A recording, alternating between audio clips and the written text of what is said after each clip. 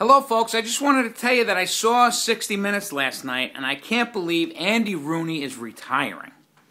It's actually a perfect time for the Gripe Daddy to step in Andy's shoes. Come on, let's face it. It's time.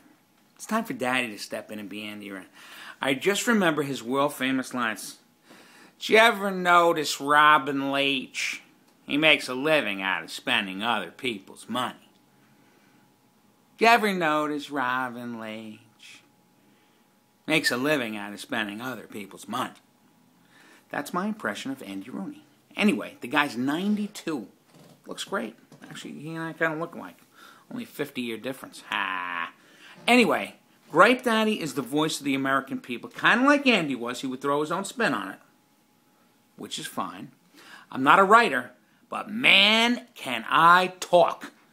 And when I got something to say, I can't be. T- you can't hold me back. Daddy can't be kept down. Embrace it. It's a beautiful thing. I'm after your job, Andy. It's time for America to meet the Gripe Daddy.